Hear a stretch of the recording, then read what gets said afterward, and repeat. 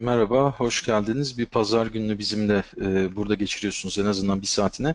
Çok teşekkür ediyoruz öncelikle ilginiz için. E, ben Özgür Mehmet Kütküt, STGM'de iletişim koordinatörü olarak çalışıyorum.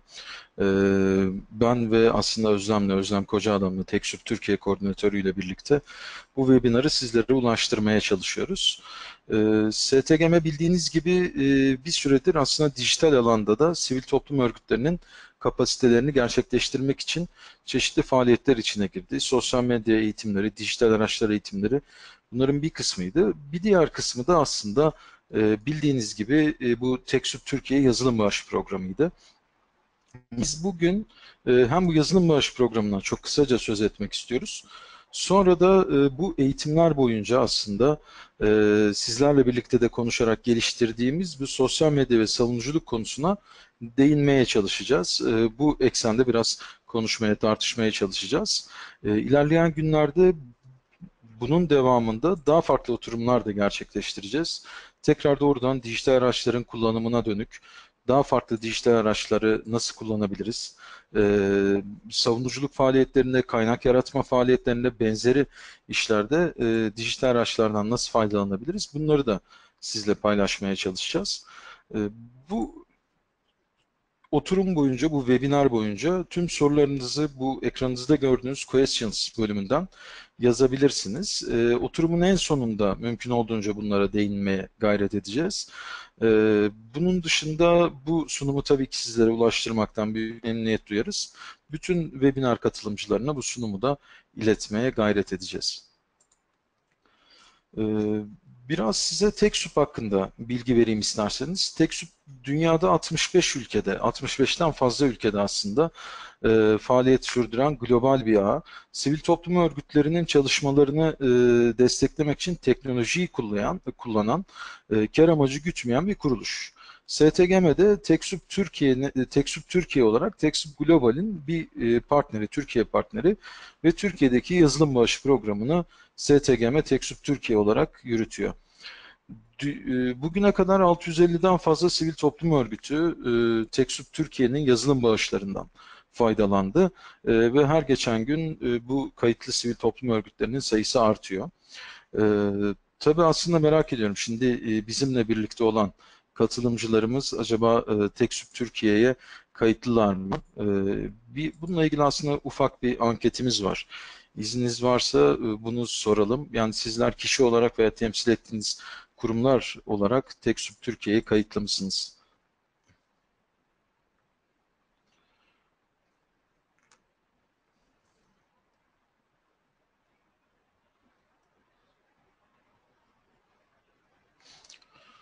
TechSoup Türkiye yazılım bağış programına nasıl kaydolacağınıza ilişkin aslında detaylı bilgileri vermeye çalışacağız. Ee, bu sunum boyunca bir 5 dakika kadar bundan bahsedeceğiz.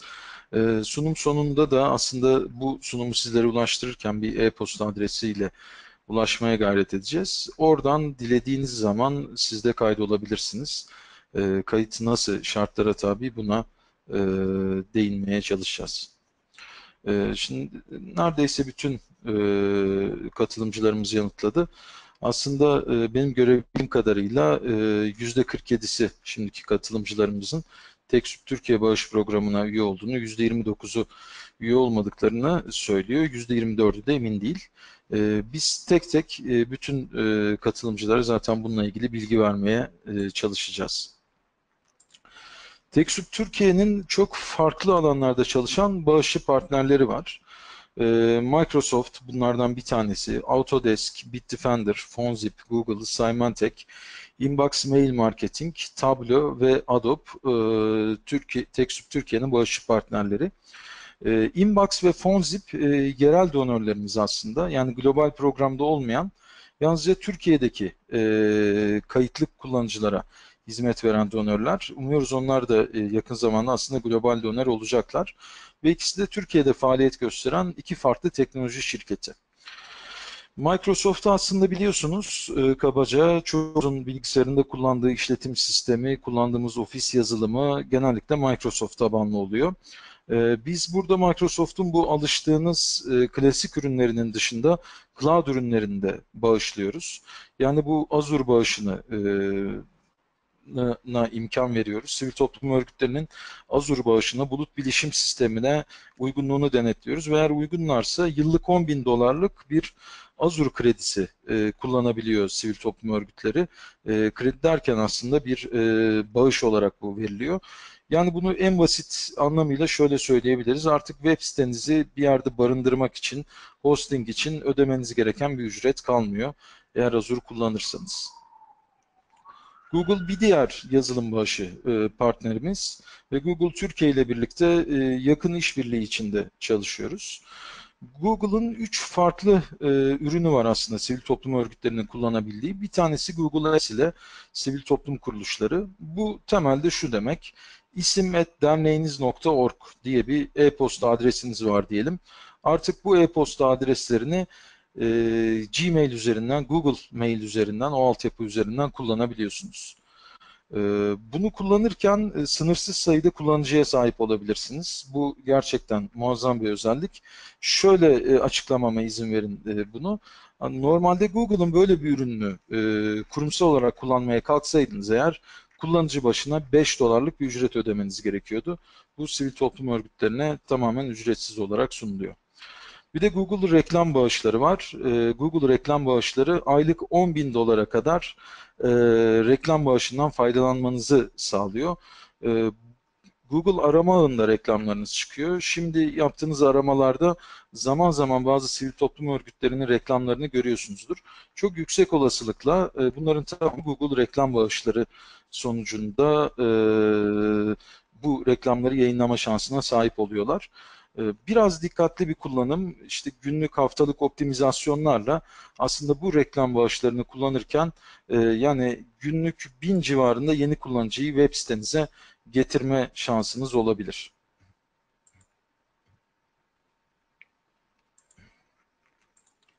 E, bir diğeri Google'ın sunduğu YouTube kar amacı gütmeyen kuruluş programı. Ee, YouTube'un bu kar amacı gütmeyen kuruluş programıyla da e, sivil toplum örgütünüzün YouTube kanalını profesyonel kanal statüsünde kullanma şansına sahip oluyorsunuz.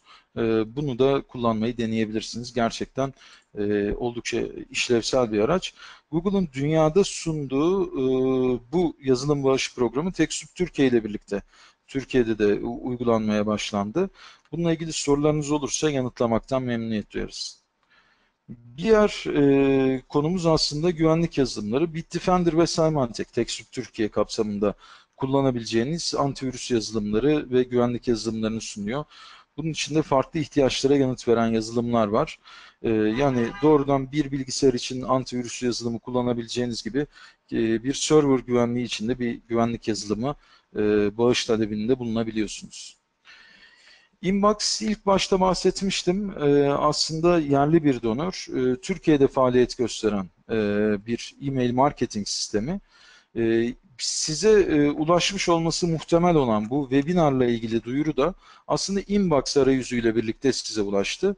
TechSoup Türkiye'ye e, üye olan ve gerekli şartları sağlayan e, sivil toplum örgütleri için %50 oranında bir indirim sağlıyor. TechSoup Türkiye Inbox mail marketing sisteminde. E, biz Inbox'la birlikte genellikle haftalık 6 bin e, ile 10 bin arasında e-posta gönderiyoruz ve e-postalarımızın ne kadarının okunduğu, ne kadarının tıklandığı, hangi adreslere ulaşmadığı gibi bilgileri de e, Inbox üzerinden takip edebiliyoruz. Ama aslında tek yaptığımız şey bu değil. Inbox'la birlikte daha pek çok özelliğe sahibiz. Bunu sunumun sonunda biraz daha bu dijital araçlar kısmında size aktarmaya gayret edeceğim. Bir diğer yerel bağışçı partnerimiz Fonzip, dernek, vakıf ve STK'lar için üye aidat bağış yönetim platformu olarak kendisini tanımlıyor.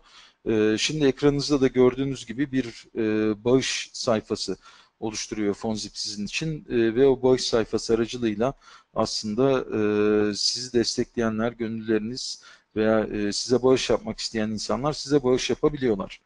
Bunun ötesinde de aidatlarınızı e, buradan alabiliyorsunuz. Yani üyeler aidatlarını Fonzip sistemi üstünden size ödeyebiliyorlar ve kredi kartıyla otomatik e, aidat ödemesi talimatı verebiliyorlar. E, gönüllü takibini yine buradan yapabiliyorsunuz. Toplu SMS, e-posta gönderimi yapabiliyorsunuz. Etkinlik düzenleyip bilet satabiliyorsunuz. Böyle özelliklere sahip Fonzip.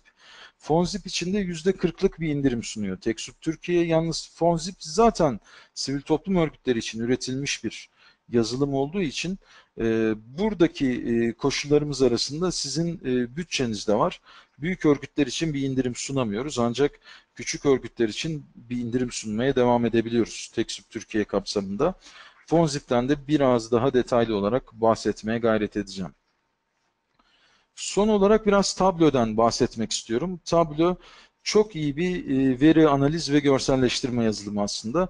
E, Tableau'yu talep eden birkaç tane sivil toplum örgütü olduğu için biz yoğun faaliyetlerle çok sınırlı sayıda lisansı Türkiye'ye getirebildik ve e, neredeyse bu lisansların tamamı tükenmek üzere. Eğer bu konuda bir ihtiyacınız varsa Tableau yazılımını incelemenizi önerebilirim. Tableau'nun ücretsiz bir versiyonu da var. Ee, o eğer o ücretsiz versiyon e, sizin ihtiyaçlarınız için uygun görünüyorsa profesyonel yazı, sürüme geçmeyi düşünebilirsiniz ve gerçekten oldukça yüksek tutarda bir indirim söz konusu. Yani yanılmıyorsam %90'ın biraz üzerinde bir indirim söz konusu oluyor Tableau ürününde. Ee, bu yazılım bağış programından faydalanabilmek için Türkiye'de kayıtlı bir dernek veya vakıf olmanız gerekiyor. Ee, TechSoup Türkiye programına kaydoluyorsunuz. Önce kişi olarak kaydoluyorsunuz. TechSoup Türkiye org.tr sitesine giderek e, hemen sağda görebilirsiniz onu. Daha sonra e, üyesi olduğunuz, bağlı olduğunuz sivil toplum örgütünü programa kaydediyorsunuz ve e, biz sizin uygunluk değerlendirmelerinizi mesai günlerinde en geç bir gün, iki gün içinde tamamlıyoruz.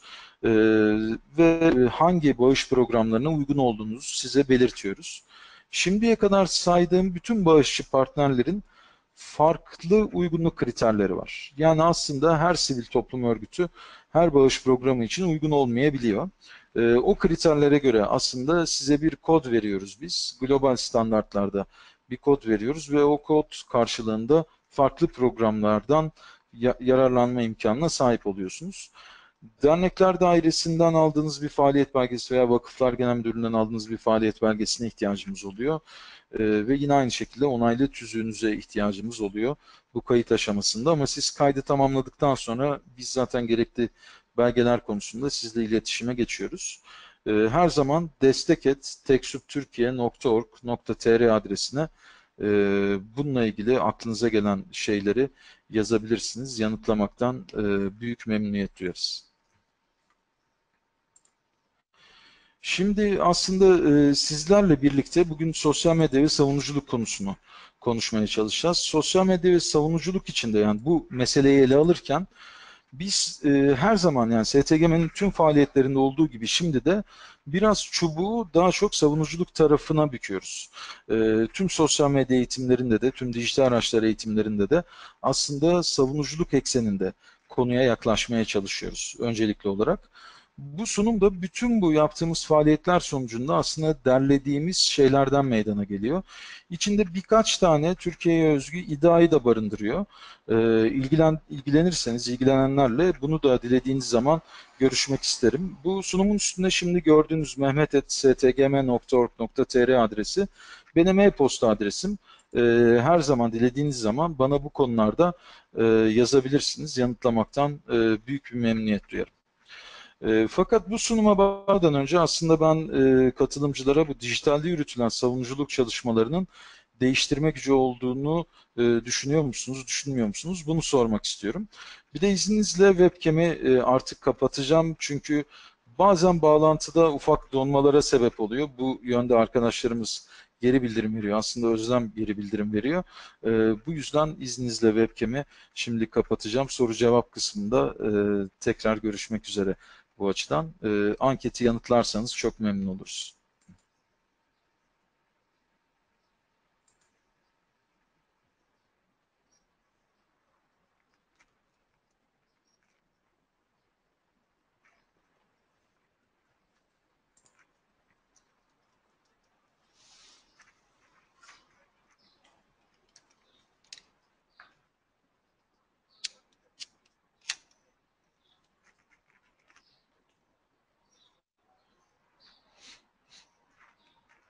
Evet, neredeyse herkes anketi yanıtladı. Ee, izninizle son 5 saniyeyi verip anketi artık e, kapatayım. Sonuçları paylaşalım. Belki üstünde konuşma fırsatı da buluruz. Evet, katılımcılarımızın büyük bir kısmı aslında dijitalde yürütülen savunuculuk faaliyetlerinin değiştirme kapasitesi olduğuna inandığını söyledi. %75 oranında. %29'luk bir e, oy oranında kısmen olarak işaretledi. Bu e, aradaki fark aslında yanıt vermeyen birkaç katılımcıdan e, kaynaklanıyor. Bu e, yüzdeler arasındaki fark. E, üniversitedeyken aldığım derslerden birinde aslında e, gazetecilik sosyolojisi dersiydi ve oldukça kıymetli bir hocamız vardı gazetecilik yapan e, Doğan Hoca, Doğan Tılıç ve aslında ben kendisiyle o zaman bundan yaklaşık 10 sene kadar önce oluyor sanırım bu olaylar e, o dönemde biraz şu tartışmaları arıyordum. E, yani hocam işte dijitalin bir değiştirme gücü var bu gazeteciliği de her şeyi değiştirecek diye. Doğan Hoca ise o zaman aslında haklı olarak bunun özellikle telif konusunda ciddi ihlallere sebep olduğunu, böyle ihlallerin olduğu bir ortamda da e, gazeteciliğin bu değiştirme gücünün, e, daha, daha doğrusu dijitalin değiştirme gücünün biraz güç göründüğünü söylemişti.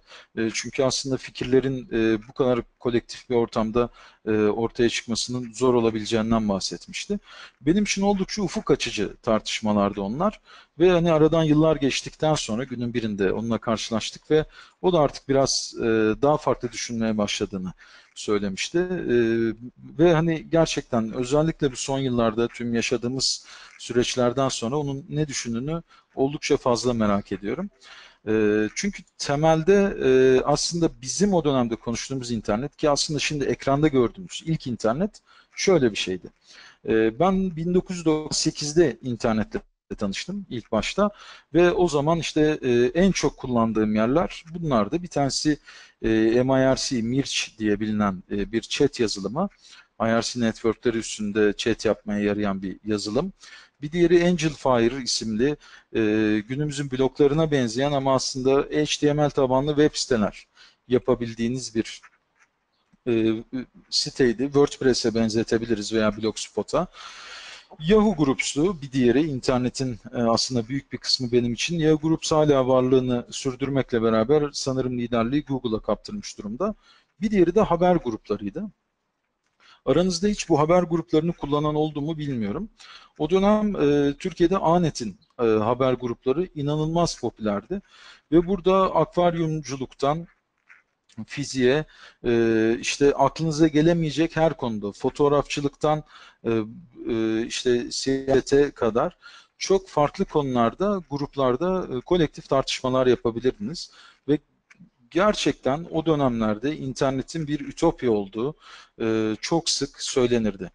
E, bu haber grupları buna örnek olarak gösterilirdi. Haber gruplarında bazı gelenekler oluşmuştu ve bu gelenekler etrafında aslında e, gerçek tartışmalar yapabilirdiniz yazarak. E, bir çeşit forum da aslında haber grupları ama biraz daha farklı bir işlev de üstleniyordu. Ee, ve bu ütopyaya doğru gittiğimizi düşünüyorduk aslında hepimiz ve biraz da azınlıktaydı o zaman bu internetteki dijital meselelerin e, insanlığı farklı bir yere taşıyabileceğini düşünenlerin sayısı.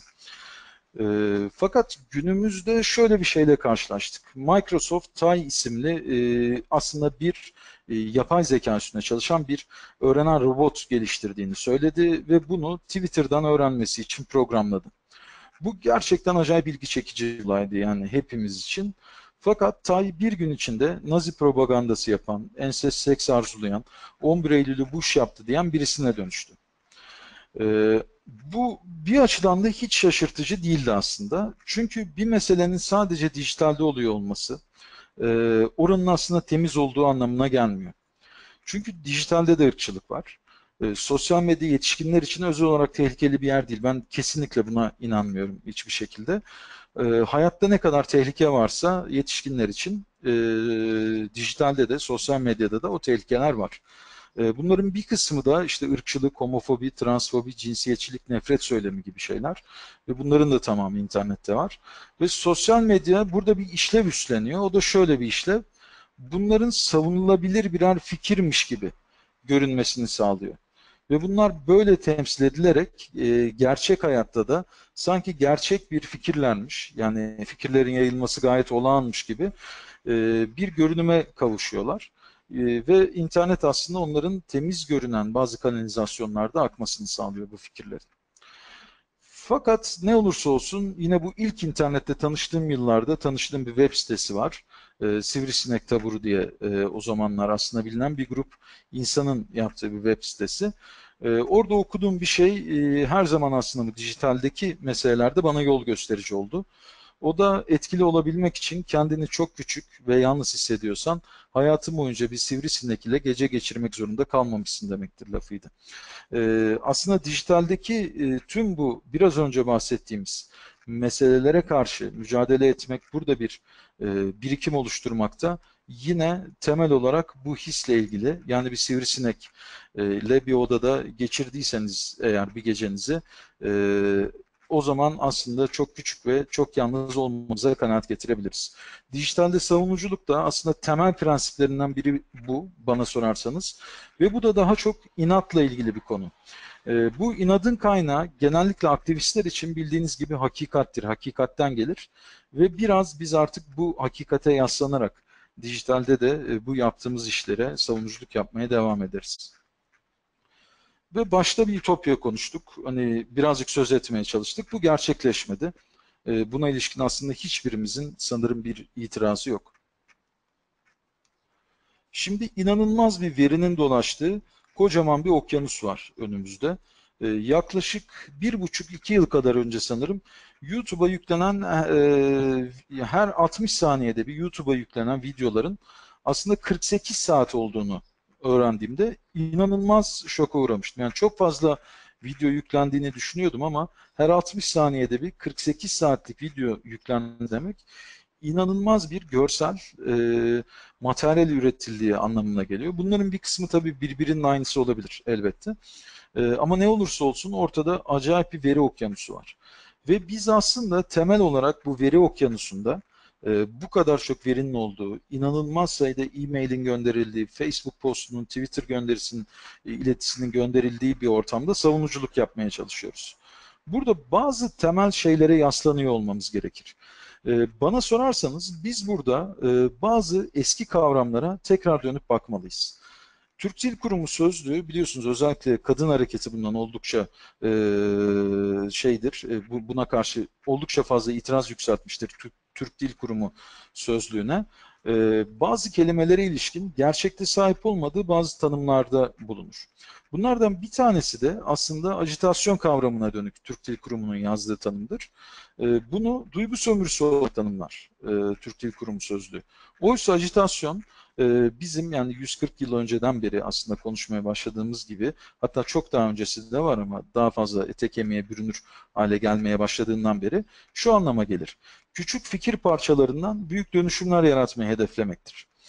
Ve aslında dijitalde gerçekleştireceğimiz savunuculuk faaliyetinin de temeli işte bu küçük fikir parçalarını dijitalde ortaya yaymak ve bunlardan büyük bir dönüşüm elde etmeye çalışmaktır. Ve bütün bunlar yine bu eski tabirle konuşursak propagandanın bir parçasıdır.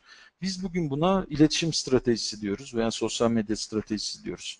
Ama aslında tamamı yine bazı küçük fikir parçalarını ortaya atarak, farklı kanallarda, farklı şekillerde ortaya atarak e, insanlara ulaştırmak ve o insanların bir şeyleri dönüştürmesini sağlamaya çalışmak. Bu e, ekrandaki fotoğrafı e, tahmin ediyorum ki çoğumuz hatırlıyordur. E, görmeyen arkadaşlar olabileceğini düşünerek fotoğrafı tarif etmeye çalışayım.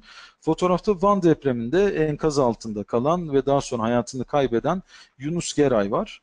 Yunus o dönem e, Van depreminin sembolü haline gelmişti.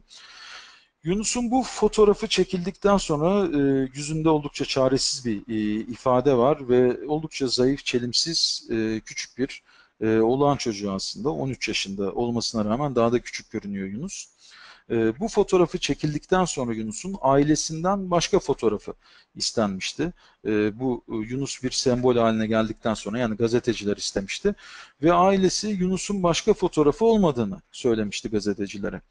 O zaman pek çok gazete, pek çok e, haber sitesi Yunus'un ilk ve son fotoğrafı diye bir manşet atarak Yunus'un e, bu fotoğrafını enkaz altındaki e, fotoğrafını paylaşmıştı. Böyle bir fotoğrafla e, insanlara ulaşmaya çalışmıştı. Ve hepimiz aslında Yunus'un başka bir fotoğrafı olmadığına ikna olmuştuk. Fakat burada bir bilgi vardı. Yunus e, bir internet kafenin enkazındaydı ve fotoğraf orada çekilmişti. Sadece bu bilgiden yola çıkan bir internet kullanıcısı Salih Aslan, Yunus Geray'ın e, bir Facebook hesabı olabileceğini düşündü ve yanılmadı. Yunus'un web kamerasıyla çekilmiş bir sürü fotoğrafının olduğu e, bir web sayfası vardı. Ve işte biz bu web sayfasını bulduktan sonra e, yani bu Yunus'un Facebook sayfasını bulduktan sonra özür dilerim. Aslında Yunus'un nasıl bir çocuk olduğuna ilişkin daha fazla şey öğrenmeye başladık. E, Yunus'un aslında e, çok daha e, yani burada gördüğümüz bu çaresiz kişiliğinin dışında başka görünümleri olduğunu gördük. Mesela Yunus Barış Manço'yu çok seviyordu. Yunus aynı zamanda Şivan Perver'i de çok seviyordu. Yunus'un sevdiği bazı çizgi filmler vardı. En çok Mickey Mouse, Tom Jerry bunları seviyordu. Ve Yunus'un o internet kafenin e, web kamerasıyla çekilmiş farklı fotoğrafları vardı. Ve bu fotoğraflar e, büyük bir kısmı insan oldukça gülümsetecek. Kocaman bir güneş gözlüğüyle yani yüzüne büyük gelen bir güneş gözlüğüyle biraz böyle puslu bakmaya çalıştı. Böyle hafif kabadayı gibi göründüğü, okul ceketini sırtına alıp çektirdiği e, küçük bir oğlan çocuğunun fotoğraflarıydı. Ve bu fotoğraflarla birlikte aslında biz Yunus'un tam olarak yani tam olarak olmasa bile e, gerçekten nasıl bir insan olduğunu, nasıl bir çocuk olduğunu biraz daha fazla anlamaya başladık. Bunun dışında acaba bu örgütlenmeye yarar mı? Bu gerçekten çok sık sorduğumuz bir soruydu. Münevver Karabulut cinayeti yine bunun yanıtlarından birisi oldu aslında. Münevver Karabulut'un e, oldukça vahşi bir şekilde katledilmesinin ardından ortaya çıkan toplumsal öfke e, bu cinayetin karartılmasından endişe ediyordu. Ve bu cinayetin aydınlatılması için, suçluların cezalandırılması için, yargılanması için internet üstünden bir araya geldiler e, ve e, sokakta eylemler düzenlediler. Şimdi iki ayrı fotoğraf var ekranda. Bir tanesinde Münevver Karabulut'un babası hemen ön planda görüyorsunuz kısa kollu gömleğiyle. Sağdaki fotoğrafta ise kar yağmış ve hani başka insanlar Münevver Karabulut'un fotoğraflarını ve bazı dövizleri taşıyorlar. Onların üstünde de paltolar var. Bu internette örgütlenen öfke sadece tek seferlik birkaç günlük bir şey değildi. Ee, birden çok kez e, insanlar bir araya gelerek bu cinayetin karartılmasını engellemeye gayret ettiler. Bir diğer eylem YouTube'un e, ilk sansürlenmesinin ardından Ocak 2010'da e, Google haritalar üzerinde insan kendilerini etiketleyerek yaptığı sanal YouTube eylemiydi. Sanal YouTube yürüyüşüydü. İnsanlar İstanbul'dan Gebze'ye kadar aslında Körfez'e kadar uzanan bir rotada haritaya kendilerini e, etiketlediler, işaretlediler ve bu yürüyüşe sanal olarak katıldılar. Fakat aynı insanlar daha sonra sokağa da çıktılar. Sansürsüz internet, internetime dokunma gibi sloganlarla aslında e, sokaktaydılar. Ve bu sadece İstanbul'da gerçekleşmedi. Bu eylemler olduğu sırada 2012 yılı olduğunu hatırlıyorum şimdi eğer yanılmıyorsam. E, ben Mersin'deydim ve Mersin'de yaklaşık 70-80 kişilik bir kalabalık e, hemen Mayıs ayının sonlarında veya Haziran ayının başlarındaydı e, yanılmıyorsam eğer. E, Mersin'deki e, bir meydanda yine bu internet protestolarına katılmıştık. Ve bu sayının daha da yüksek, e, yani çok fazla ilde olduğunu hatırlıyorum. 30'a yakın ilde olduğunu. Fakat tüm bunlar olmasına rağmen bu yeni kuşağa e, tıklamacı diye bir e, isim bulundu. Ve bu tıklamacıların aslında bir şey değiştirebileceğinden insanlar e, oldukça nasıl söyleyeyim size endişeliydi. Onların bir şey değiştiremeyeceğini inanıyordu bu tıklamacı kuşağı. Fakat bu e, tıklamacı olarak tabir edilen yeni kuşak aslında günümüze kadar oldukça farklı işlere imza attılar ve henüz bunun bir değişim sürecinde olduğunu söylememiz gerekiyor. Mesela aklıma gelen ilk örnekler Arap Baharı, Tunus, Mısır'daki eylemler. E, bu aklımıza gelen ilk örneklerden biri oluyor. Bir diğeri Obamacare muhalefeti sebebiyle Whole Foods e, boykotu. Bir diğeri birçok başarılı imza kampanyası yürüten Greenpeace gibi e, bir sivil toplum örgütü var. Avaz, Change.org gibi siteler var. Bu pek çok imza kampanyası aslında başarıyla sonuçlandı. Toplumsal yararı olan birçok projenin kitle fonlaması gerçekleştirildi. Çok farklı sitelerde. Gezi eylemlerindeki kitlesel protesto, haberleşme ve tartışmalar dünyadaki literatüre girdi. E, dijital olarak bu kadar büyük bir kalabalığın nasıl örgütlendiği, nasıl hareket ettiği üzerine hala süren çalışmalar var aslında. Ve e, ilk kez aslında gerçek zamanlı olarak bu hacimde e, bir e, dijital etkinlik ölçümlenmeye başlanmıştı Gezi Parkı eylemleri sırasında. Ve daha da yakın zamanda Polonya'da kürtaj yasa, yasağı teklifine karşı kadınların direnişini gördük. E, onlar sokaktaydılar. Türkiye'deki bir diğer e, kadın cinayeti de aslında Özgecan Aslan cinayetiydi. Yine oldukça e, vahşi bir şekilde işlenen bir cinayetti. E, ve bu cinayetten sonra çok inanılmaz bir şey gerçekleşmeye başladı. Kadınlar o yaşına kadar e, gördükleri, o zamana kadar gördükleri tacizi, farklı olayları sen de anlat hashtag ile birlikte Twitter başta olmak üzere çok farklı mecralarda yayınlamaya başladılar. Ve sen de anlat hashtagini başlatan kişi aslında çok ünlü birisi, milyonlarca takipçisi olan birisi değildi. Sadece bir Twitter kullanıcısıydı. Ee, ama içinden geleni yani aslında dert ettiği konuyu tam olarak gündeme getirmeyi arzu etmişti. Ve bununla birlikte kadınlar sen de anlat altında çok farklı şeyler yazmaya başladılar. Şimdi ekranda e, bunların bir kısmını okuyorsunuz tahmin ediyorum. Hiç ped alışverişiniz gazeteye sarıldı mı? Doğurganlığınız saklanmak istendi mi? Bunlardan bir tanesi. Dövülerek araca bindirilen kadın için polislere ifade verdiğimde alınan telefon numarama model misiniz ile başlayan taciz mesajları. Hepimiz o çekildiğimiz apartman boşluklarında e,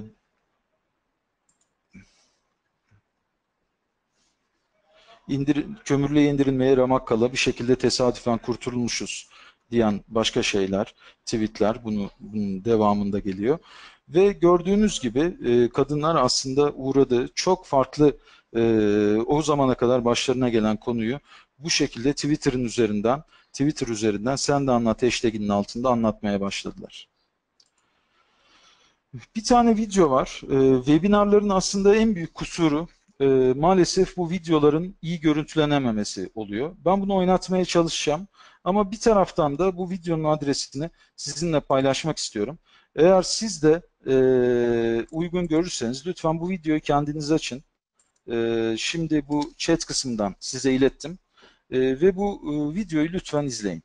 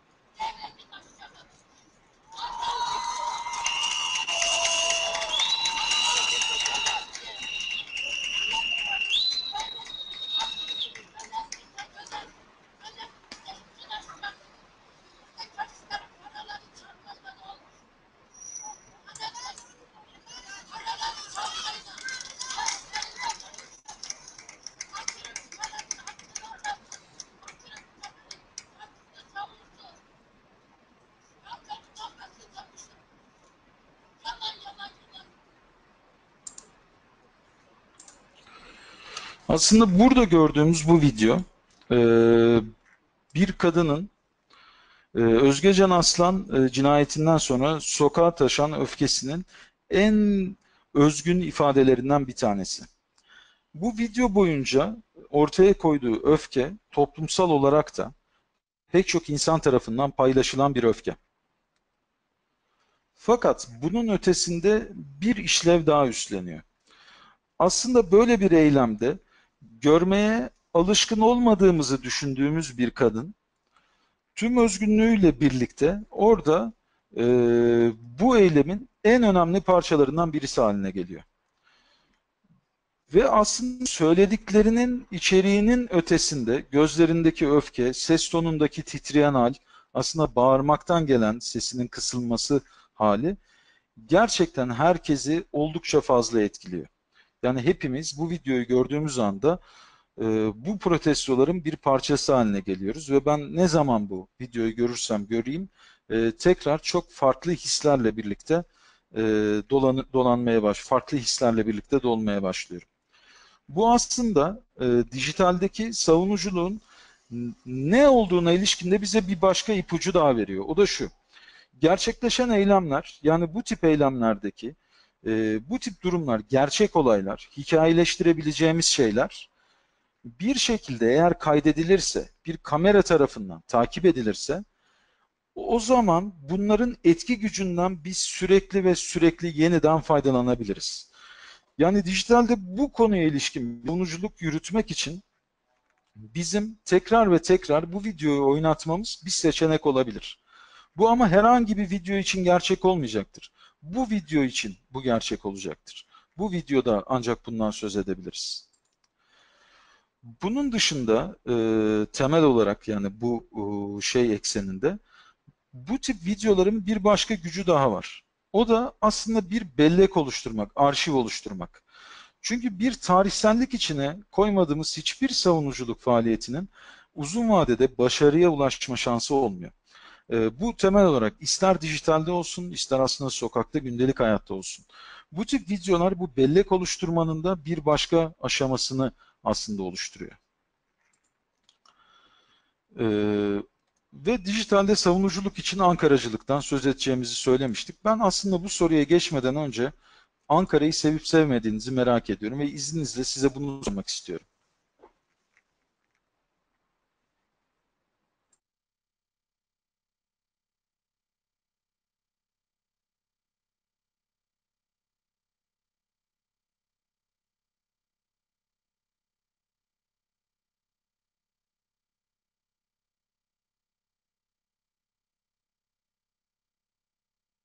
Gördüğüm kadarıyla şimdiye kadar çoğunluk Ankara'yı sevmediğini söyledi.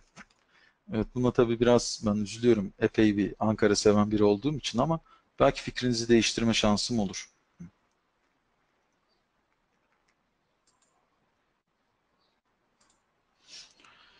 Siz de görebileceğiniz gibi e, şimdi katılımcılarımızın %56'sı Ankara'yı sevmediğini, %44'ü sevdiğini söyledi bize.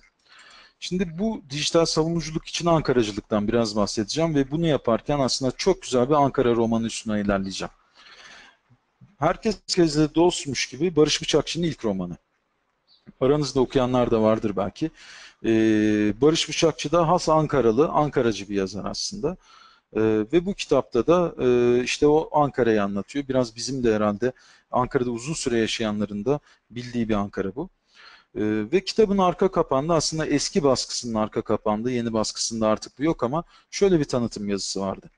Herkes herkesle dostmuş gibi bir Ankara gezintisi. Özel surette hiçbir tasvire girmeden, hiçbir köşeyi bir cümleyle olsun resmetmeye kalkışmadan ama Ankara'nın çok mahallesini, caddesini, sokağını, meydanını laf arasında anarak, oraların küçücük ayrıntılarından bir iki sözcükle bahsederek bu kentte ilişiği olmayanların hiç başını ağrıtmaksızın ilişiği olanların içine ısıtıyor.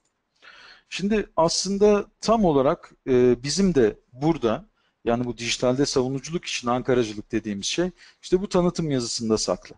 O da şu. İlki şöyle başlıyor aslında. Oraların küçücük ayrıntılarından bir iki sözcükle bahsederek. Yani bu biraz önce bahsettiğimiz bu ajitasyon kavramına bizi tekrar götürüyor. Küçük fikir kırıntılarını ortaya koyarak, fikrin küçük parçalarını ortaya koyarak aslında büyük dönüşümler yaratmayı hedeflemek. Bir diğer kısım ise tam olarak dijitalde ihtiyaç duyduğumuz mesele. Bu kentle ilişiği olmayanların hiç başını ağrıtmaksızın ilişiği olanların içine ısıtmak. Aslında buradan e, tabii ki Barış Bıçakçı'nın kastettiği şey daha farklı bir şey ama e, benim buradan dijitale ilişkin anladığım mesele biraz şöyle. Birisinin bir konuyla ilişiği varsa onların içine ısıtmamız gerekiyor. Ama eğer ilişkisi yoksa onların başını ağrıtmamamız gerekiyor. Buradan şu sonuç çıkmamalı. Ee, mesela Özgecan Aslan cinayetinden bahsedersek tekrar, e, kadın cinayetlerine e, cinayetleriyle ilgili çalışan aktivistlerin mi sadece içini, içini ısıtacağız? Hayır. Özgecan Aslan cinayetini duyan herkesin içini ısıtacağız. Ve bu iç ısıtma tamamen yani sürekli duygusal bir şey olmak zorunda değil. İnsanlara burada farklı bir mesaj vereceğiz. Gerçekten bunun tartışılmaya değer bir konu olduğunu, değiştirilebilir olduğunu göstermeye çalışacağız. Temel olarak iç ısıtmadan e, burada yani dijital anlamda bahsetmeye çalıştığımız şey bu. Bunun ötesinde e, bunu aklımızda tutalım bunları. Ama sadece bir derde sahip olmak da e, savunuculuk yapmak anlamına gelmiyor. Müslüm Gürses yıllar önce Yasemin'in Penceresinden programına katılmıştı. Hakan Taşıyan'ın hayatının anlatıldığı bir programdı. Ve orada kendi hayat felsefesini anlatmıştı. Çok nadiren Müslüm Gürses böyle şeylerden bahsederdi.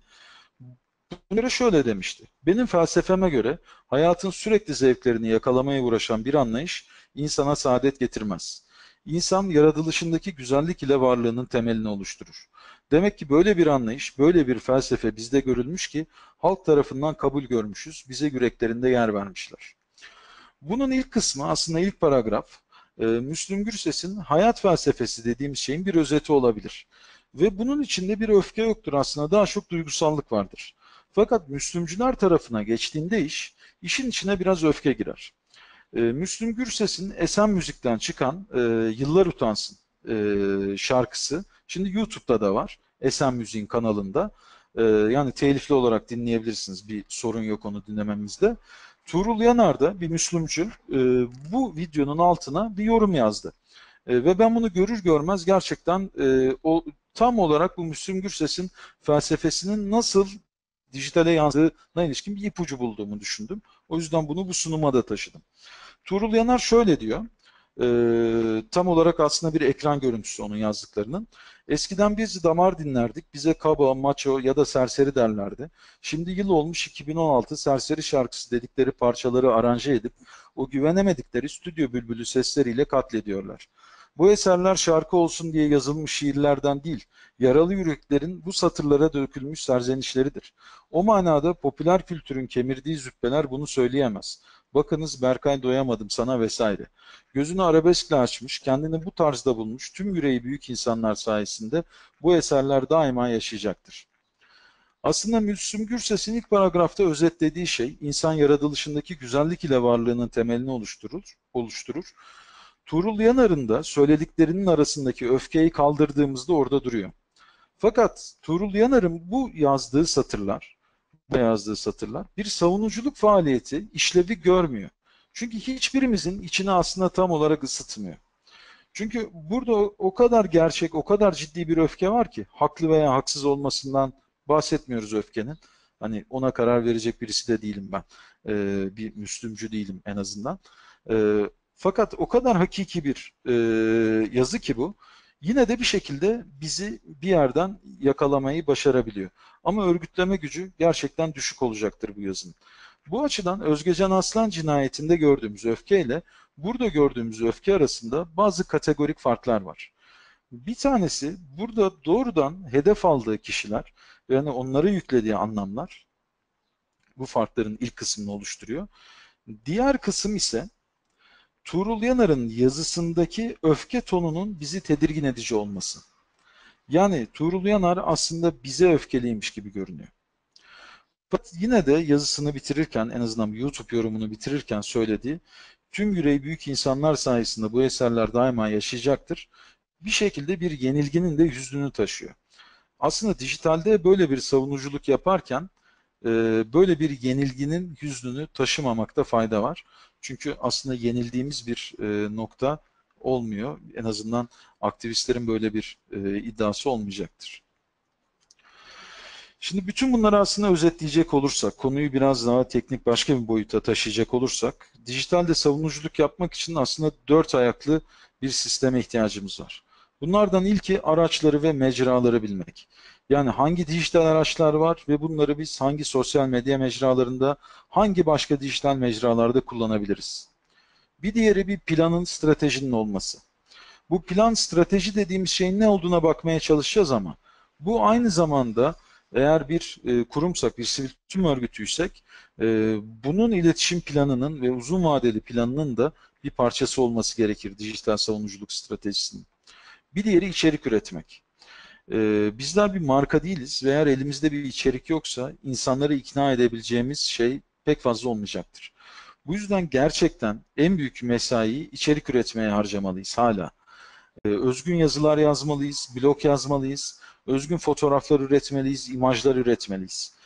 Ve mutlaka iletişim kurmalıyız. Dijitaldeki tüm savunuculuk faaliyetleri aslında bir iletişim faaliyetidir ve temelde iletişim kurmak için yapılır. Genellikle Türkiye'deki erkek politikacılar kimseyle iletişim kurmadan bir kürsüden sürekli yazarak Twitter kullandığı için sanki Twitter kullanımı iletişim değilmiş de kişilerin kendi fikirlerini beyan ettiği bir şeymiş gibi görünüyor. Halbuki bunun tam tersi tüm dijital sosyal medya, tüm dijital mecralar, tüm sosyal medya mecraları iletişim kurmak için vardır. Ve biz de dijitalde yapacağımız, yaptığımız tüm işleri aslında bir şekilde insanlarla iletişim kurmak için bir vesile olarak görmeliyiz ve bize ulaşacakları kanalları üretmeliyiz, bunları türetmeliyiz. Şimdi bu içerik meselesinde aslında e, en çok dikkat etmek istediğim şeylerden bir tanesi de şu. İlla ürettiğimiz içeriğin inanılmaz teknolojik olmasına gerek yok. Fakat bu yeni medya dediğimiz düzenin çok temel bir özelliği var. O da aslında şu. Yazının icadından beri yazı her zaman başı sonu belli bir formun üstüne yazılmıştır. Bu isterse bir tablet, bir taş tablet olabilir istersek. İstersek bambaşka bir şey olabilir. Kağıt olabilir, papyrus olabilir, bir e, bilgisayarımızdaki bir metin dokümanı olabilir. Fakat ne olursa olsun başı ve sonu belli olan bir mecranın üstünde akar veya akardı. Ancak internetle birlikte metnin içine gömülen linkler, yani bu hiperlinkler, e, bu şimdi ekrana yansıyan yazıda da gördüğünüz bu maviyle işaretlenmiş bölümler, tıkladığınız zaman sizi başka sayfalara götürüyor. Ve bu gerçekten sonsuz bir döngü anlamına geliyor. Bunu biraz şöyle düşünelim. Evlerimizde ansiklopediler vardı. Hala bir kısmımızın evinde bunlar muhakkak vardır. Bu ansiklopediler her ne olursa olsun ansiklopedinin hacmiyle sınırlıydı. Orada da bakınızlar verebilirdik.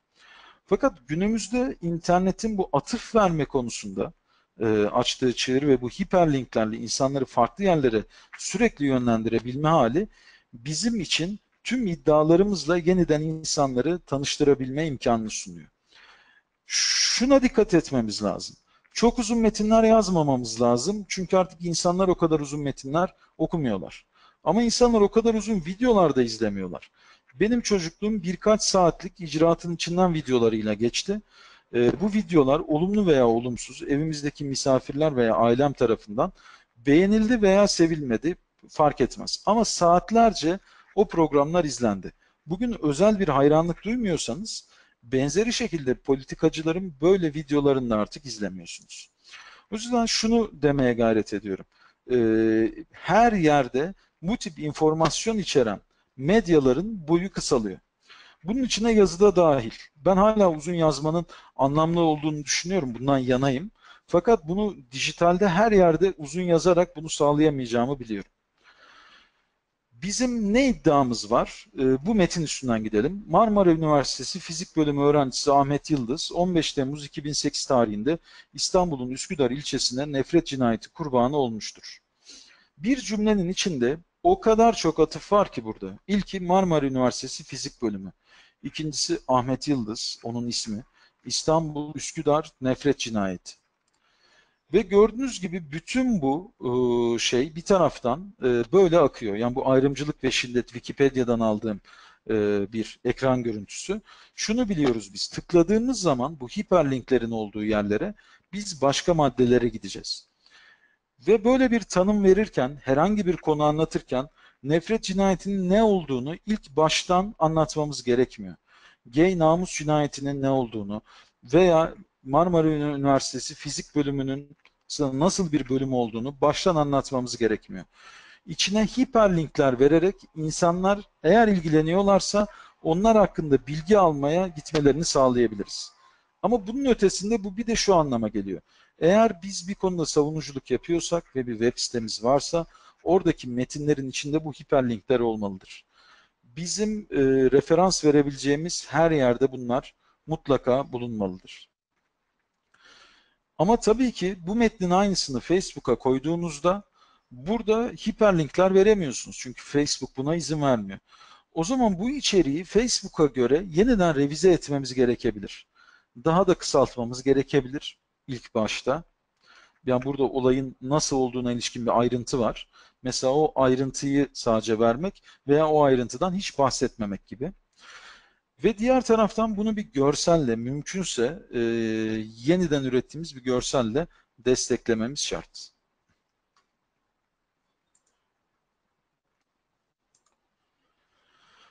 Şimdi e, karşımıza bir de şöyle bir şey çıkıyor. Uzun raporlarımız var. E, pek çok sivil toplum örgütünün ürettiği raporlar var.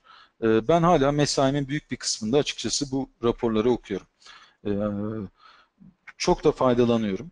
Fakat bizim yaptığımız savunuculuk aslında temel olarak herkesi bu kadar donanımlı hale getirmek değil.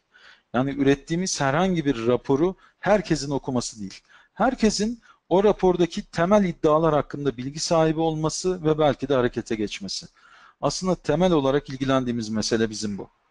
O zaman elimizdeki veriyi, bu yazdığımız raporlardaki veriyi bir şekilde görselleştirmemiz gerekiyor. Şimdi ekranlarınızda Türkiye İnsan Hakları Vakfı'nın e, bir infografiğini görüyorsunuz. E, bunu e, Takso STGM desteğiyle birlikte görselleştirdi Türkiye İnsan Hakları Vakfı. Ben de bir, bir başka Özgür Tek de başka birkaç arkadaşımız da bu raporun görselleştirilmesinde Türkiye İnsan Hakları Vakfı'na destek verdi. Şimdi bu rapora baktığımızda şöyle çarpıcı bir mesele vardı. Ee, çatışmalı ortamlarında çatışmalı ortamlarda yaşamını yitiren sivillerin sayısı 2015 yılında radikal bir şekilde inanılmaz kabul edilemez bir şekilde e, yükseliyordu, artıyordu.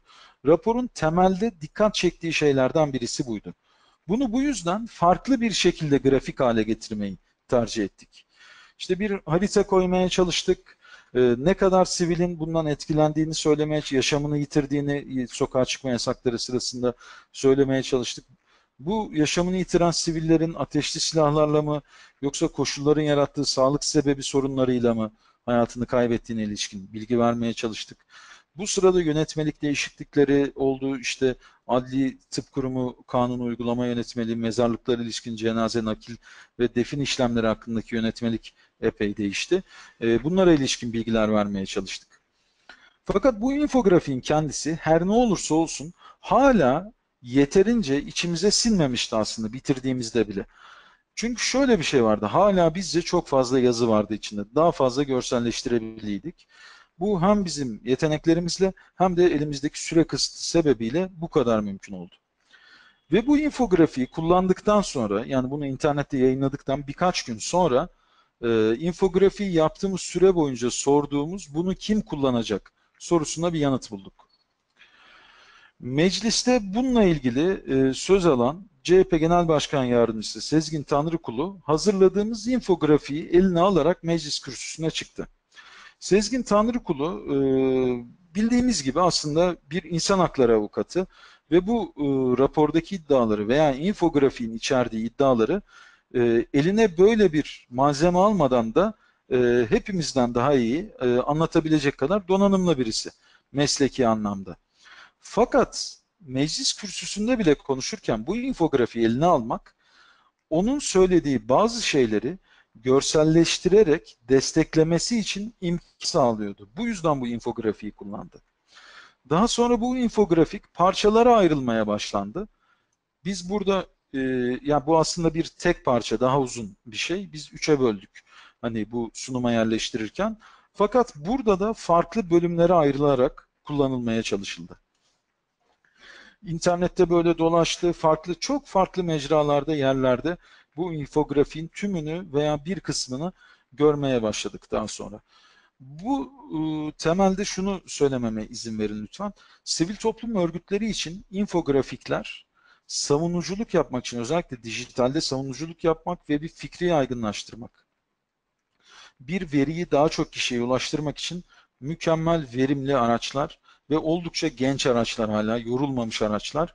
Bu yüzden hala e, yani bu yüzden özellikle onları kullanmaya başlamak, onları kullanmak için çalışmak, yöntemleri öğrenmek oldukça faydalı olacaktır. Konumuz her ne olursa olsun eğer bir veriye sahipseniz. Şimdi e, sivil toplum örgütleri ürettiği materyallerde her zaman çok mükemmel bir görsele, tasarıma sahip olmak zorunda değiller. Fakat gerçekten bir biçime ihtiyaç var ve bir öngörü şart. Şimdi mesela şimdi Hakan Taşıyan'ın bir tweet'i var ekranda. Kim bilir kimler var şimdi kalbinde, kaç kadeh kırıldı şarkısından bir dizeyi paylaşıyor. Ve e, Hakan Taşıyan'a sürekli yüklenen olumsuz bir e, ima var. E, işte alkol sorunu olduğu, madde sorunu olduğuna ilişkin. Ve adeta onları desteklercesine çekilmiş bir fotoğraf var. E, kameranın titrediği, Hakan Taşıyan'ın gözlerinin daha puslu baktığı, daha yere baktığı bir fotoğraf var. E, bu açıdan bu fotoğraf, işte biçim her şey değil ama bu tip konularda kullanılmaması tavsiye edilebilecek fotoğraflardan birisi. Bir diğeri ise öngörü. E, kendini e, çok iyi bir sosyal medya kullanıcısı olarak tanımlayan Ankara Büyükşehir Belediye Başkanı Melih Gökçek Twitter'da bir anket yapmıştı ve şöyle bir soru sormuştu. Bu akşam beni Beyaz TV'de izlediniz mi? Ve anket sonuçlarına göre aslında katılımcıların çok büyük bir kısmının e,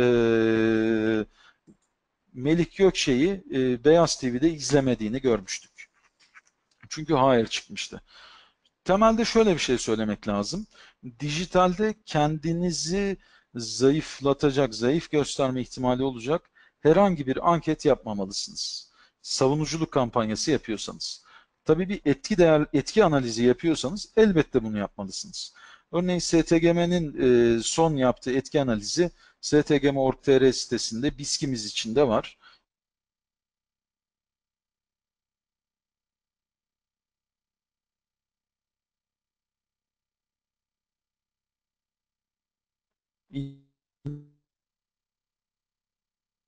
İnceleyebilirsiniz. Orada zayıf yönlerimiz de var. Bir puan vermenizi rica edeceğiz. Burada düşük puan verebilirsiniz çünkü bunu öğrenmek istiyoruz. Ama bunu galiba Twitter'da e, sormayı tercih etmeyiz. Veya Twitter'da herhangi bir savunuculuk faaliyetiyle ilgili böyle bir ters yanıt almayı tercih etmeyebiliriz. Şimdi işi plan ve strateji kısmına getirirsek, bu zamana kadar konuştuğumuz bütün her şeyi derleyip toparlayalım. Savunuculuk için sosyal medya stratejisi dediğimiz şey, tarihselliği, direnişleri, itirazları, bilgiyi ve uzmanlığı birbirine bağlayabilecek bir düzeneyi bilinçli bir şekilde kurmaktır. Yani elimizde bir tarihsellik olmalı, direnişler, itirazlar, bilgi olmalı ama mutlaka uzmanlık da olmalı. Bunlardan hepsine sahip olmak her zaman mümkün olmayabilir. Fakat muhakkak bunları bir araya getirmeliyiz. Bir şekilde en azından orta vadede bunlara sahip olabilmeliyiz. Ardından buna örgütsel bir karakter kazandırmamız ve bu çerçevede yapılacak işleri belli bir sıraya ve plana bağlı olarak yapmamız gerekir. Ve son olarak da tüm bunları yaparken dijital iletişimden yararlanırız. Aslında dijitalde savunuculuk için de diğerlerinden yani e, dijital olmayan mecralardaki savunuculuktan daha farklı bir yöntem yoktur. Bu savunuculuk için her zaman en en etkili yöntemlerden biridir.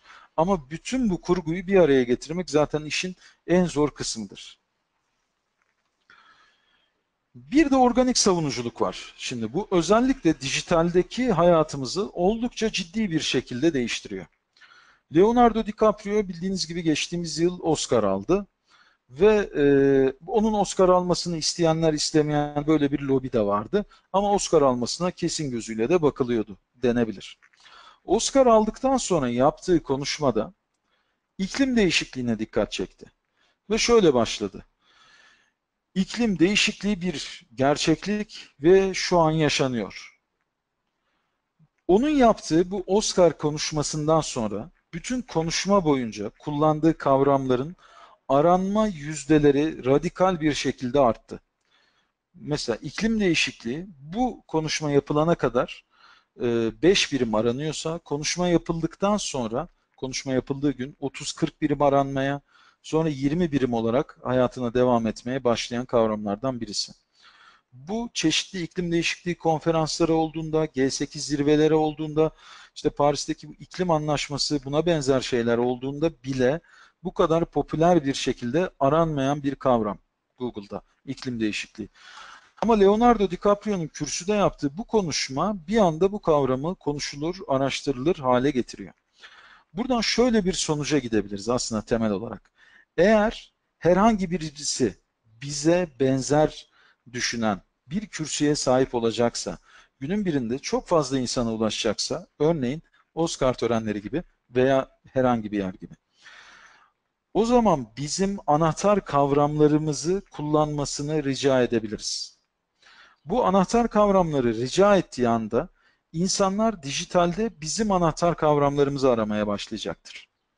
Tabi bunu yapabilmemiz için bazı şeylere ihtiyacımız var. Temelde aslında şöyle bir şeye ihtiyacımız var. Hazırlıklı olmak. İnsanlar baktığında hazır mıyız? Yani kalabalık günün birinde bize başını çevirirse, örneğin iklim değişikliği kavramıyla, dijitalde buldukları şeyler onları tatmin edecek mi? Yani bu iklim değişikliği meselesine ilişkin sorulan soru, e, yani bu Oscar törenlerinden sonra Google'a yazılıp aranan sorunun Türkçe yanıtları insanları acaba tatmin edecek mi? Bu yüzden dijitaldeki varlığımızı her zaman biriktirmeye dönük, her zaman orada başka şeylerle birlikte yani anahtar kavramlarımızın açıklamalarıyla birlikte yer almasına dönük bir e, kütüphane gibi, bir arşiv gibi de düşünmeliyiz. Bu yüzden daha çok blog yazısı koymalıyız. Bu yazdığımız yazıların arama motoru uyumluluğuna çalışmalıyız ve burada bunları tutmalıyız. İklim değişikliğine dikkat çekmek için insanların elindeki tek şey tabii ki Leonardo DiCaprio'nun Oscar konuşması değil. Birden çok e, kampanya ile bu hedefe gitmek mümkün. Fakat bunu yaparken insanların bize baktığından emin olmalıyız. Yani bu birden çok kampanya yapacağız ama insanlar bu sırada bize bakıyor olacaklar mı? Şeffaflığa önem vermeliyiz. Özellikle dijitalde herhangi bir şekilde kaynak yaratıyorsak bir güven ilişkisi kurmamız ve şeffaflığa ihtiyacımız var. İnsanlar bizler için e, harcadıkları fonun nereye gittiğini bilmek istiyorlar. Hakları da bu zaten. E, kamunun da bu şekilde şeffaf olması, sivil toplum örgütlerinin de şeffaf olması gerekiyor. Koordine olmak, destekçileri bilgilendirmek, onları unutmamak ama bunaltmamak da lazım. Yani temel olarak Ankaracılığa burada ihtiyacımız var. Ee, yani küçük şeylerin e, ayrıntılarından bir iki sözcükle bahsederek ilişiği olanların içini ısıtmaya ihtiyacımız var. Ama ilişiği olmayanların da başını ağrıtmayacağız. Elçiler üretmek gerçekten önemli. İnsanların bir şekilde dijitalde bizim sözlerimizi, söylediklerimizi yaygınlaştırmasını talep ediyoruz. İşte bunlar aslında sosyal medyadaki elçilerimiz. Bu elçilere kullanabilecekleri malzemeleri sunmalıyız. Yani mesela bizim kurum logomuz yüksek çözünürlüklü olarak ulaşılabilir olmalı ki ona bakarak insanlar tasarımlar yapabilsinler. Gittiğimiz etkinliklerdeki fotoğrafları web sitemize yükledik, güzel. Biraz daha yüksek çözünürlüklü de koymalıyız ki yine farklı tasarımlarda kullansınlar bazı e, ciddi metinlerimizin yanında daha yumuşak yazılmış, kalibrasyonu daha düşük tutulmuş metinlerimiz de olmalı ki insanlar dilediği gibi istediğinden faydalanarak bizim elçimiz olmaya devam etsinler ve uyurken konuşmak. İşte bu dijital aslında temel olarak bu meseledir. Uyurken konuşur dijital bizim için. Şunu unutmamak lazım. Dijitalde savunuculuk yaşayan bir döngüdür. Toplu e-postalar, tetikleyiciler kullanabilirsiniz. Yani şunu, yap şunu yapabilmemiz mümkün. STGM'nin e-bültenini iki ay boyunca hiç okumazsanız size bir tetikleyici maili otomatik olarak göndermeyi sisteme tanımlayabiliriz. Diyebiliriz ki merhaba Ayşe seni çok özledik niye okumuyorsun bize örneğin. Bu iletişim stratejimizin de bir parçası haline gelmeli. Bir iletişim stratejimiz yoksa bunun üstüne kafa yormalıyız. Yani ama çok kapsamlı ama az kapsamlı. Mutlaka elimizde bu tip yazılı dokümanlar yaratmalıyız. Kaynak yaratmayı planlarımızın bir parçası haline getirmeliyiz. Yani bu iktisadi işletmeler kurarak e, derneklerin mesela kaynak yaratması da olabilir. Veya tüm bunların dışında e, kaynak yaratmak için e, doğrudan e, bağış toplamak, e, üyeleri çoğaltıp aidatlar yoluyla kaynak yaratmak da mümkün olabilir. E, kitle fonlaması araçları da olabilir. Fakat bu savunuculuk meselesindeki en önemli meselelerden bir tanesi de Google reklam bağışları. Ayda 10 bin dolarlık Google reklamı demek inanılmaz bir olanak demek. Ve Google'ın e, uygunluk kriterleri de gerçekten katı olmadığı için başvuran çok e, başvuran sivil toplum örgütleri çok büyük oranda uygun kabul ediyorlar programa e, ve bunu kullanmak gerçekten işlevsel. Fakat bunu kullanırken çok basit birkaç öneride bulunayım. Eğer sizin derneğiniz, vakfınız burs veriyorsa elbette burs kelimesine reklam verebilirsiniz. E, mesela STGM ne yapıyor? Sivil toplum örgütlerine destekler veriyor. Eğitimler yapıyor. Değil mi? E, bu eğitimlere ilişkin reklam verebilir miyiz? Tabii ki verebiliriz. Fakat bizim izlediğimiz meselelerden bir tanesi şu. İnsanların temelde ne aradığına bakmaya çalışıyoruz. Yani sivil toplum alanına ilişkin ne aradığına. Ve buna göre reklamlarımızı tekrar bu Google reklam bağışlarındaki reklamları optimize ediyoruz. Örneğin e, proje döngüsü yönetimine ilişkin STGM'nin yakın zamanda yayınladığı çok iyi bir kaynak var. E, yani, e, yani gerçekten bir STGM yayını olduğu için değil, e, hani doğrudan hazırlanma sürecinde yer aldığım için e, detaylarıyla biliyorum. E, Faruk Hoca'nın yazdığı çok iyi bir kaynak var. Proje döngüsü yönetimi rehberi. Fakat e, bu rehberi biz bir reklam haline getirdikten sonra okunurluğu artmaya başlıyor.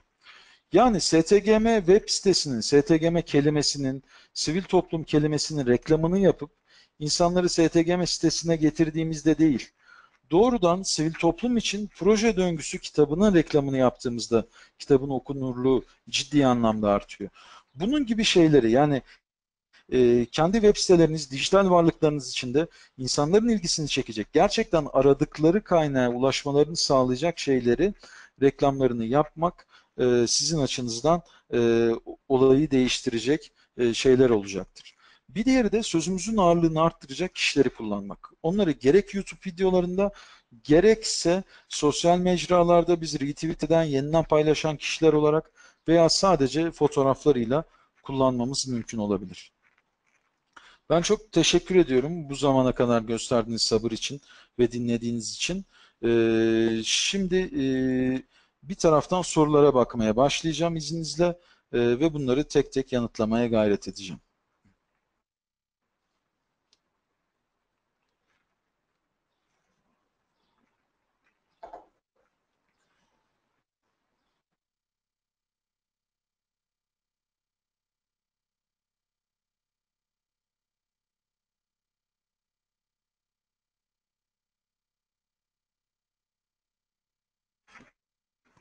Dilek yayın infografikler için hangi programları e, kullanmamızı önerirsiniz demiş. Aslında burada e, ihtiyacınıza göre bu, soruya yanıt vermek daha doğru. Fakat e, biz size bu e, webinara katılanlara göndereceğimiz mailin içine önerdiğimiz birkaç tane infografik aracını koyalım. Bunlardan bir tanesi Infogram. Oldukça basit bir araç. Bir diğeri Canva e, bu önereceğimiz araçlardan. E, bunun dışında e, yani Google'ın kendi görselleştirmeleri gerek tablolarda gerek anketlerde yine faydalı olabilir. E, sizin e, doğrudan ihtiyacınızın ne olduğunu bilirsek daha spesifik örnekler de verebiliriz ama bu e-mailin içine biraz daha bu tip örnekleri koymaya çalışalım.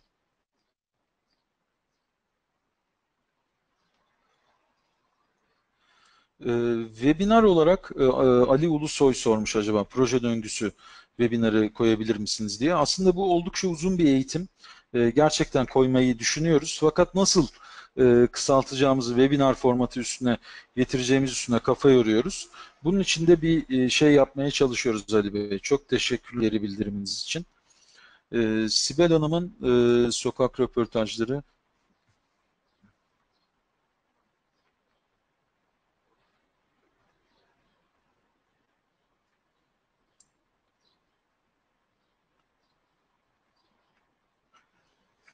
Hmm, evet, e, bu Sibel Hanım'ın bahsettiği izin alma meselesi e, şöyle, soruyu da size okuyayım bir taraftan.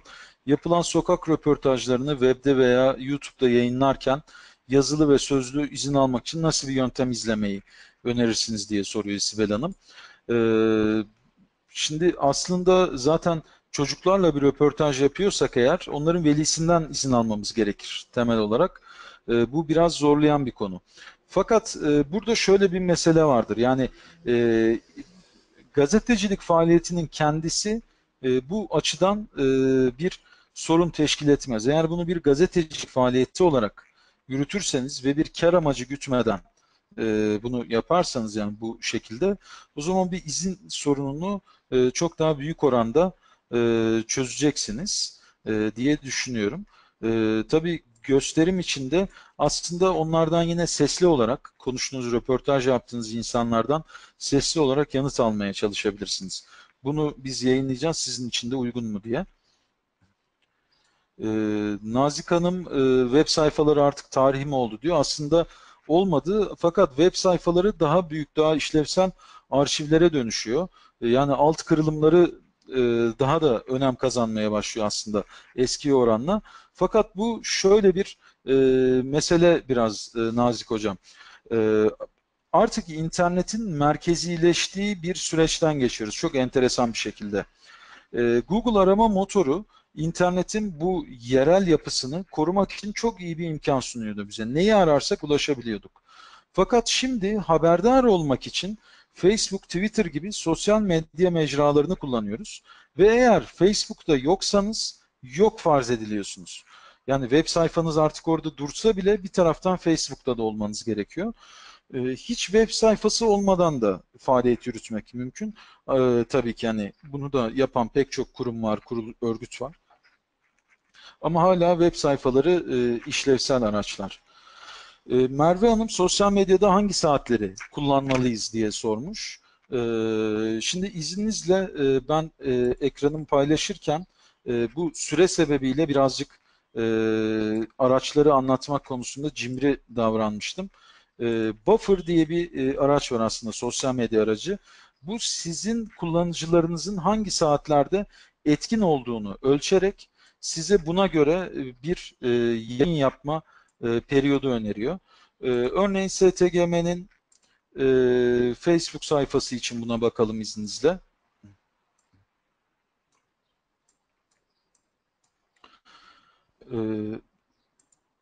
Evet, şimdi e, ekranımı görüyorsunuz anladığım kadarıyla.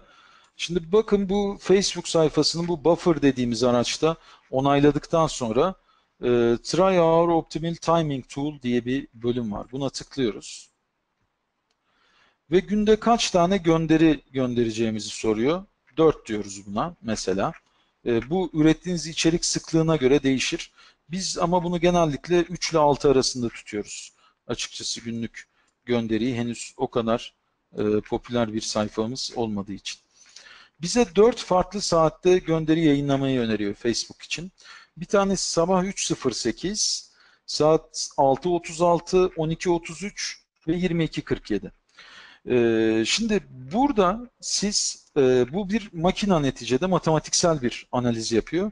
Siz hala buradaki saatleri e, kendi e, görüşünüze göre değiştirebilirsiniz. Fakat Facebook için farklı bir olay var. Facebook bir algoritma kullanıyor ve sizin gönderdiğiniz gönderileri takipçilerinizin ancak %7'si görebiliyor. Eğer bu gönderiyi gören 100 kişiden 7'si bunu beğenirse, yorum yazarsa, paylaşırsa o zaman bunun daha kaliteli bir içerik olduğuna hükmediyor Facebook ve daha fazla kişiye göstermeye başlıyor.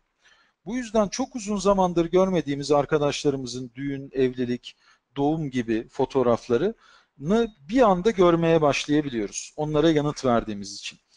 Ve bu 100 e, kişinin 7'si genellikle hep sizinle etkileşim içinde olan kişiler oluyor. E, böyle bir e, döngüsü var Facebook'un.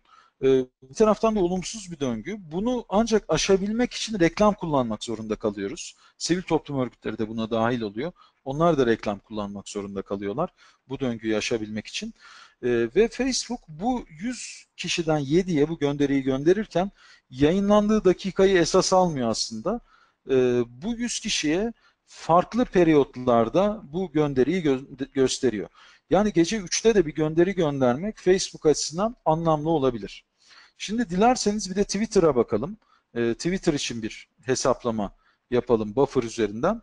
E, oradaki sonucu inceleyelim.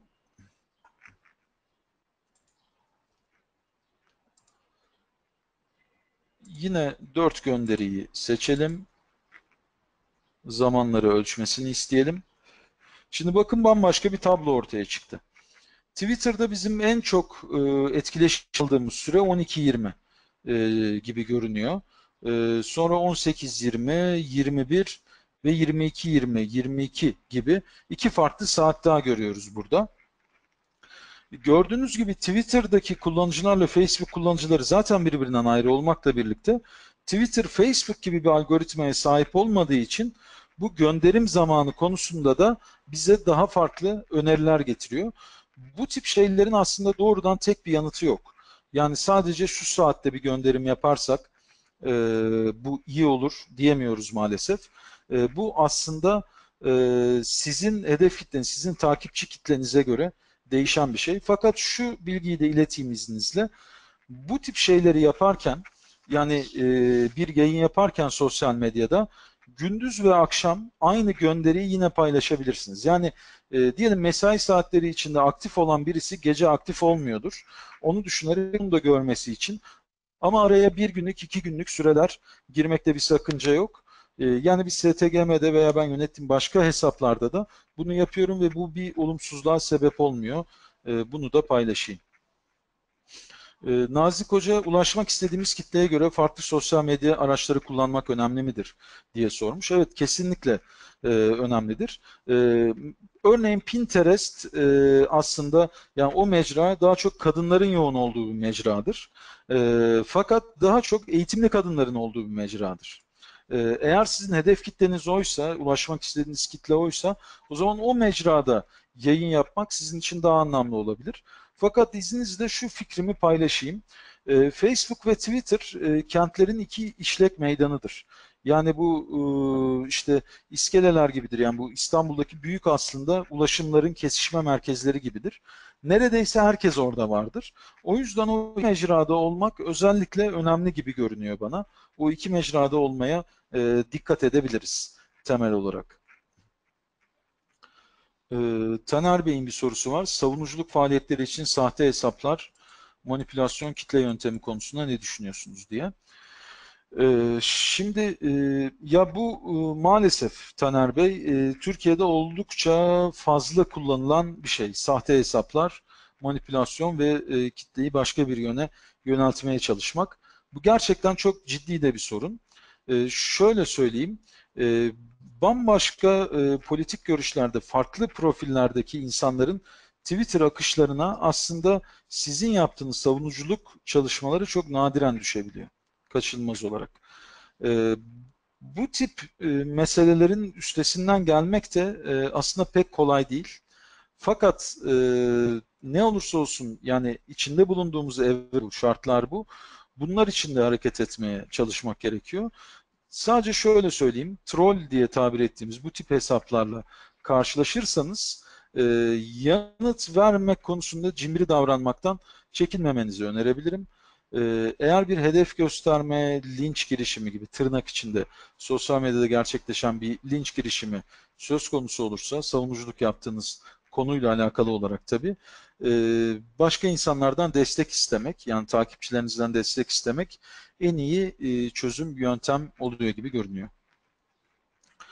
E, Başak Kovacık, TechSoup Global Giving ile benzerlikleri var mı acaba diyor. Bu TechSoup'un Global Giving diye bir programı var mı ben emin değilim. Burada topu ben Özlem'e atayım. Özlem biraz da yani TechSoup Türkiye koordinatörü Özlem. O biraz daha hakimdir konuya. Onun bir bilgisi varsa ondan bilgi alıp sizinle paylaşmaya çalışayım.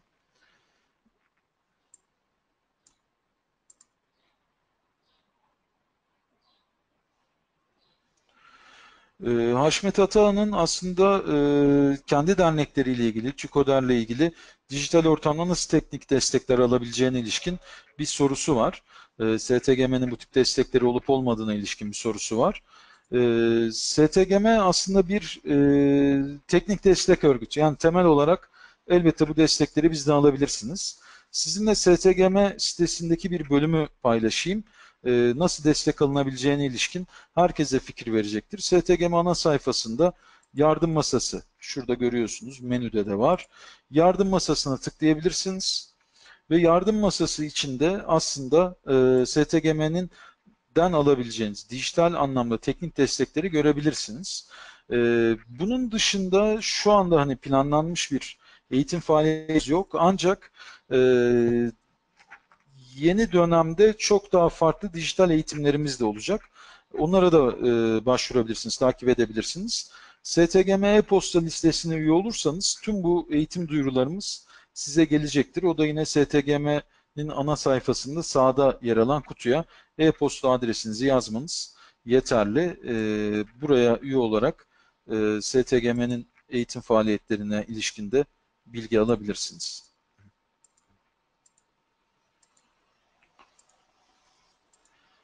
Sorulardan devam etmeye çalışıyorum.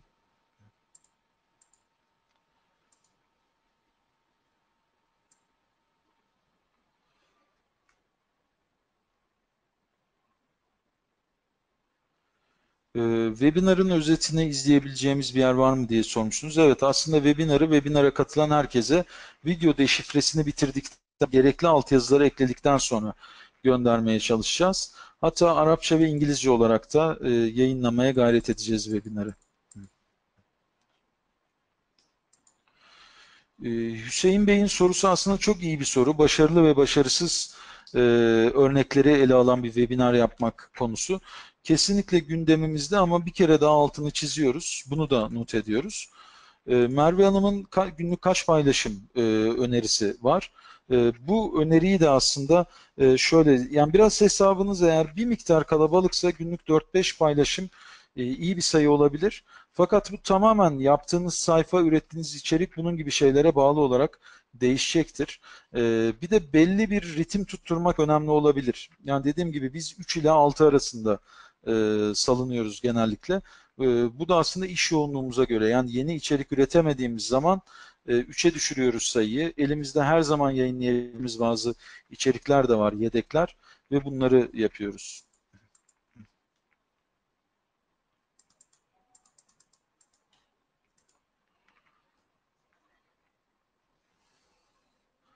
Ee, Haşmet Bey'in e, bir şey sorusu var. Derneklerinin e, şu takibi, şubeler arası ilişkiler, denetimler, faaliyetler hakkında karşılıklı bilgilendirme gibi çalışmalar için nasıl bir yöntem izleyebileceklerini soruyorlar.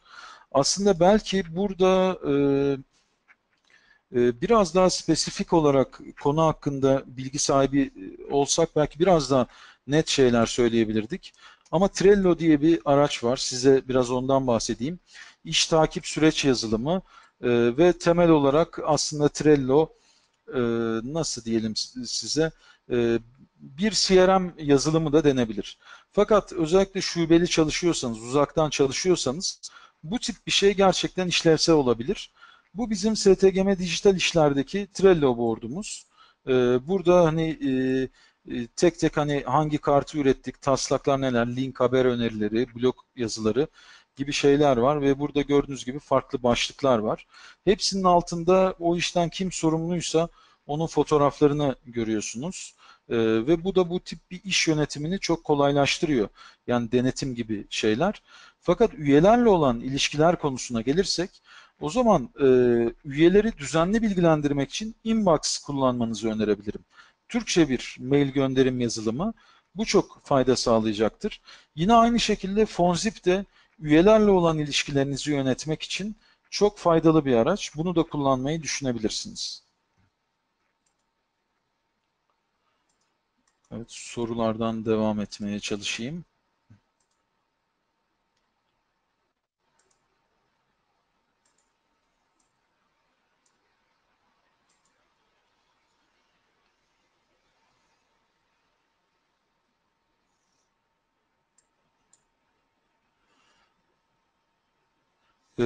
Evet, Google programları ile ilgili TechSoup Türkiye'ye başvurabilirsiniz. Ee, TechSoup Türkiye'nin de web sitesini bu vesileyle sizlere göstermiş olayım. Ee, webinara katılım için maalesef belge vermiyoruz ama katıldığınızı dilediğiniz zaman söyleyebilirsiniz. Biz teşekkür ederiz. Şimdi m, Merve Hanım e-bültenleri tüm bağışçılara mı göndermek demiş. Aslında bağışçılara bağıştan e-bültenlerimizi üye olmak ister misiniz diye sorabilirsiniz bağış sırasında. Bu iyi bir yöntem olacaktır. Bunun dışında da belki tüm bağışçılara bir ilk e-bülten göndererek bu e-bülteni almaya devam edik devam etmek istemediklerine ilişkin bir bilgi sorabilirsiniz. Bu da kesinlikle çok işlevsel olacaktır. Böylelikle spam yapma meselesinden de biraz e, uzaklaşmış olursunuz. Elbette yardım masası üstünden randevu alarak sorularınızı her zaman bize sorabilirsiniz. Nikram, Vodafone gibi koşullar yapılıyor. Bu Başak Hanım Nikram, Vodafone gibi koşullar olduğunu ve e, STK üyelerinin burada koştuğunu, bu işlemin nasıl yapıldığını e, sormuş. E, bunun için aslında adım adım mı? E, sanırım buradan bahsediyorsunuz. Pardon yanlış yere girdim. E, çünkü benim üstümde bir taraftan da e, şey açık e, webinar paneli ekranın tümünü göremiyorum. Evet, e, bu adımadım.org aslında buradan bu yardım step koşulları buradan gerçekleştiriliyor. Adım adım altından gerçekleştiriliyor ve adım adımın farklı kriterleri var. E, bu siteyi inceleyerek e, bu tip koşullar hakkında da bilgi sahibi olabilirsiniz. Evet, Kıvanç Bey de tam olarak bundan bahsetmiş. İyilik peşinde koş et adımadım.org aracılığıyla adım adıma ulaşılabileceğini söylemiş. Ben de hemen e, bu chat bölümünden e, herkese bu mail adresini göndermeye çalışayım. Bir ufak bir sorun yaşıyorum şimdi bu chat bölümüyle ilgili ama şimdi bunu sanırım yapmayı başarabileceğim. Evet. Evet. Ee, benim görebildiğim kadarıyla başka bir e, soru kalmadı. Ee, pardon, bey değilmiş. Çok özür dilerim. Ee, aslında hep soyadıyla e, hitap etmeye çalışıyorum Insta ama e, böyle bir alışkanlık var. Tekrar e, Kıvanç Ergun'dan özür dilerim bunun için. Ee,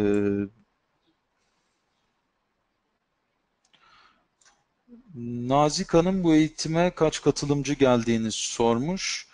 Ee, eğitim boyunca katılımcı sayısı değişti tabi temel olarak. 70 ee, civarına çıktığını hatırlıyorum. Şimdi de 36 kişi var. Ee, ama ben tüm şeyi takip edemedim yani sürekli e, katılım şeyini. Belki biraz da fazladır. Yanıtlamadığım bir soru olmadığını zannediyorum burada. Özlem'le bir son kez bakışıyorum. Acaba onun bana söylemek istediği bir şey e, var mı diye bakışıyorum derken aslında onunla da e, online olarak e, konuşuyoruz. E, orada görebildiğim kadarıyla yok. E, bu Global Giving ile ilgili senin bir bilgin var mıydı Özlem? Bu TechSoup Global Giving ile ilgili.